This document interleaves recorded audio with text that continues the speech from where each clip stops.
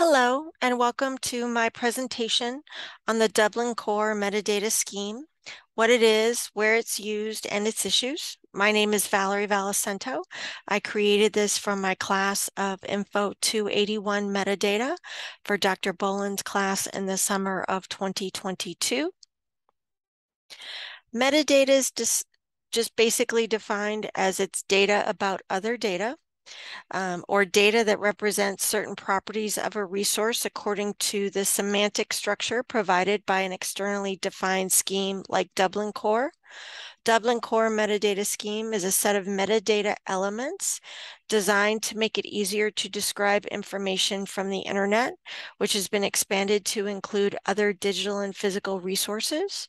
Um, Dublin Core Metadata Innovation says that the Dublin Core style is for the things described by the metadata and for the terms used to describe them. The history of Dublin Core Metadata Scheme is that it basically began at a meeting between the OCLC and the National Center for Supercomputer Applications in March of 1995. The meeting was held in Dublin, Ohio, with content specialists, internet technologists, libra and librarians to discuss how to make web resources discoverable. Dublin, Dublin Core was named after Dublin, Ohio, and it was designed to be um, used as a resource which other metadata would be built around. Um, the elements of, of Dublin Core were designed to be intrinsic, extensible, syntax independent, optional, repeatable, and modifiable.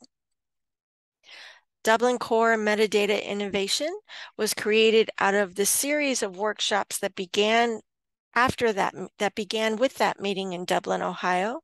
It's an organization that supports metadata design and best practices. It's a project from the Association of Information Science and Technology.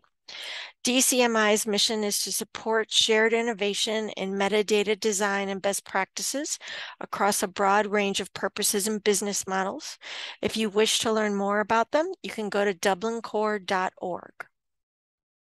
The Dublin core elements is defined by the metadata innovation. Um, this list is a list in alphabetical order. It is not a list in which you um, complete uh, an entry. I will go over that in a little bit. But basically, it gives you you you provide information about the contributor, which is an entity that's responsible for making contributions to the resource.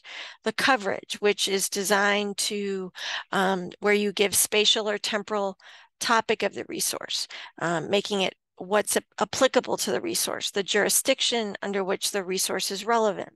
The creator is an entity responsible for making the resource. The date is a point or period of time associated with an event in the life cycle of the resource. That could be um, the date of publication. That could be the date of um, reprinting or anything that applies to that particular resource.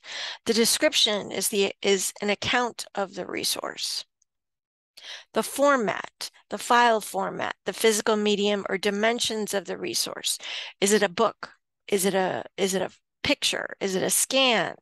That type of information. An identifier, an unambiguous reference to the resource within a given context.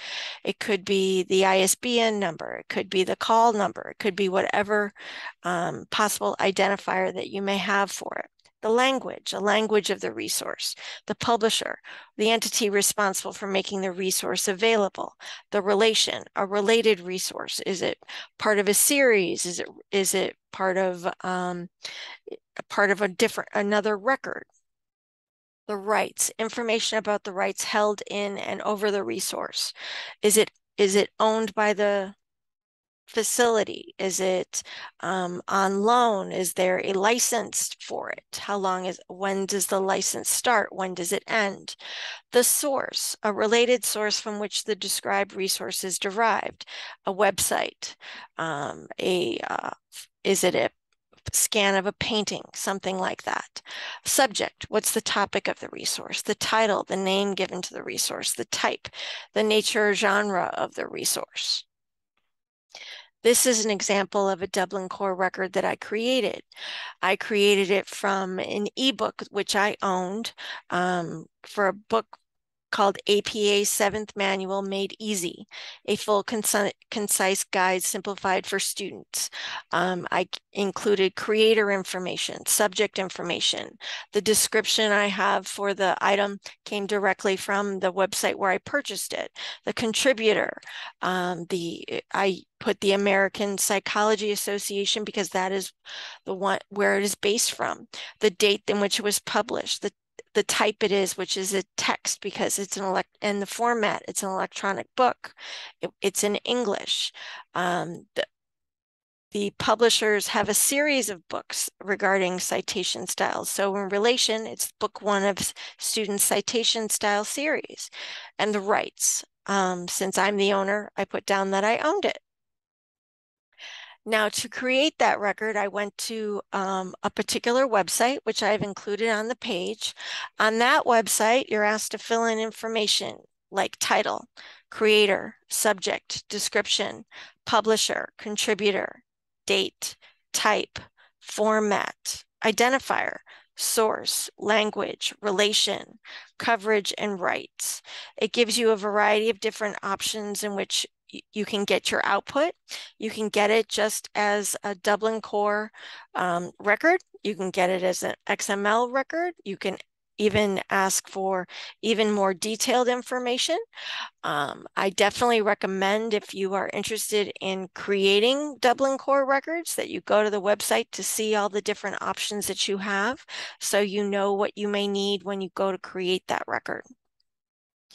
The strengths of Dublin Core is the it's designed to be tailored to the resource, adding additional lines to each field. So if it's for multiple subjects or if there's more than one author um, or taking fields away. So if you don't need something like relation or if there's no information regarding date or if you don't even or if there's no information for coverage, those are lines that you can remove. Um, Dublin, uh, you know, it, it all depends on what's the item as well as the needs of the searcher. Depending on the fit location, um, the type of facility, is it a library, is it, is it a public library, an academic library, a special library? Is it, it it's designed for the people that are going to use, the, to search for it. Um, so you put in whatever information that they would need in order to be able to find it. Um, also, you can find Dublin core terms within other metadata schemes um, like RDF or MODS or METS. Um, sometimes you can find Dublin core because, like I said, it's designed to be the basics where everything else is um, works around works around it. Um, you may not find Dublin core in other metadata schemes, but you might. It all depends on what the create what the person creating the record uses.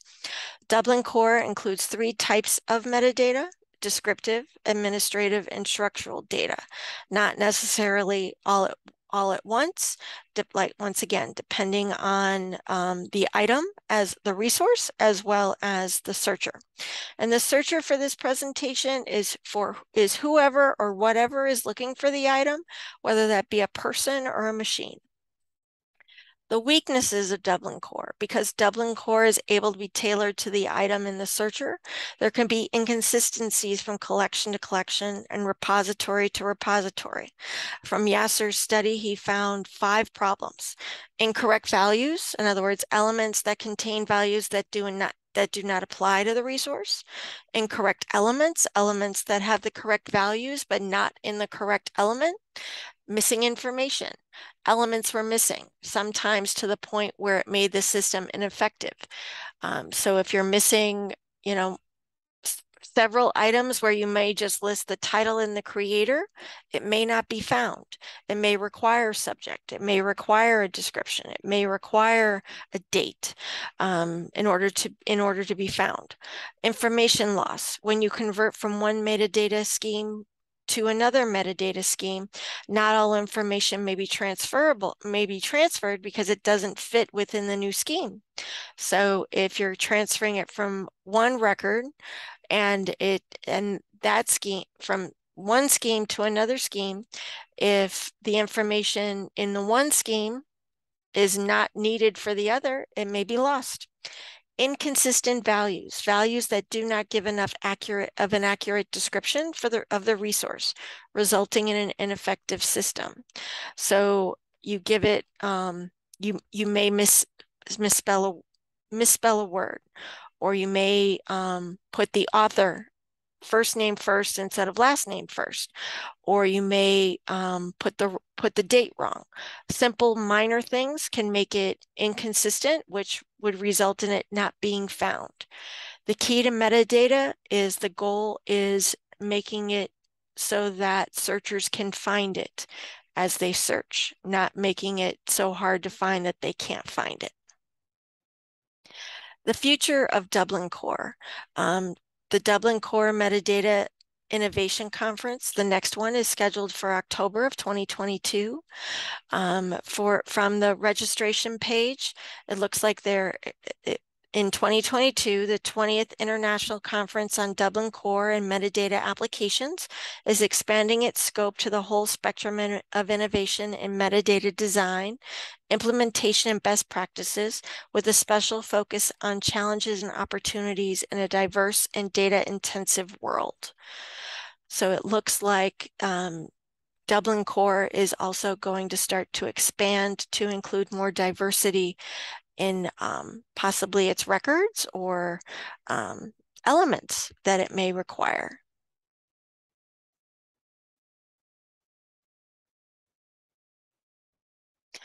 Thank you for your time today. If you have any questions, please let me know. And I hope you all have a great week.